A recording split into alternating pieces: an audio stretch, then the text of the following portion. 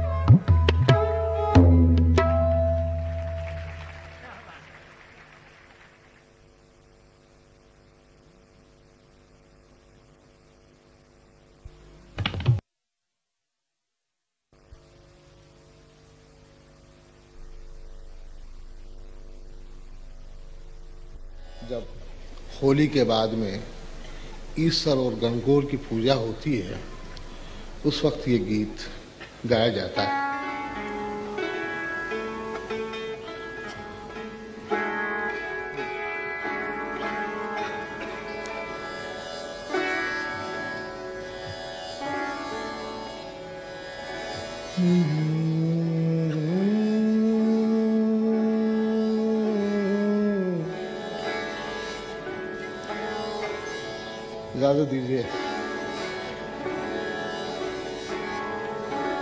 da, da.